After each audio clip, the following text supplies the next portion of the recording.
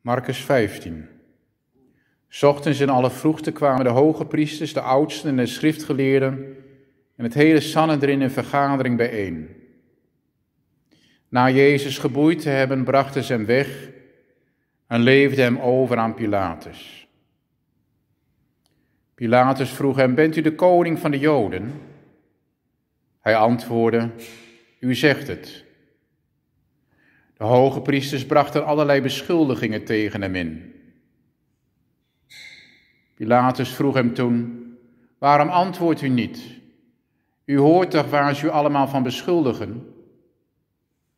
Maar Jezus zei helemaal niets meer, tot verwondering van Pilatus.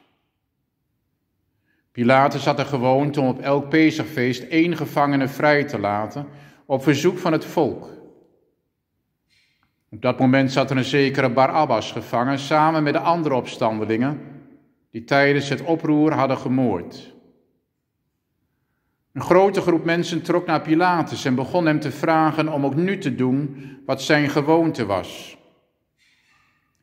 Pilatus vroeg hen, wilt u dat ik de koning van de Joden vrijlaat? Want hij begreep wel dat de hoge priesters hem met afgunst hadden uitgeleverd. Maar de hoge priesters hitsten de menigte op om te zeggen dat hij Barabbas moest vrijlaten. Toen zei Pilatus tegen hen, wat wilt u dan dat ik doe met de man die u de koning van de Joden noemt? Ze begonnen weer te schreeuwen.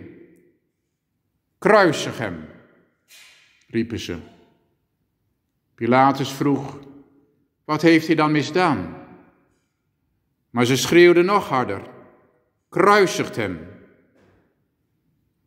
Omdat Pilatus de menigte tevreden wilde stellen, liet hij Barabbas vrij. Jezus leverde hij uit om gekruisigd te worden, nadat hij hem eerst nog had laten geeselen. Amen.